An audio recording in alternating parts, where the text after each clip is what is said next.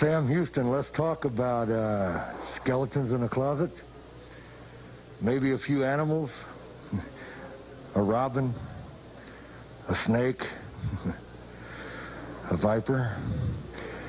Houston, you got the TV title. Now you got to step in the ring. You think you know me? I may be closer to you than you think, boy. Houston, my man, you're going to step in the ring against the Viper.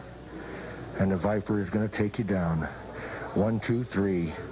Take your title and give you a spanking like your daddy should have done a long time ago.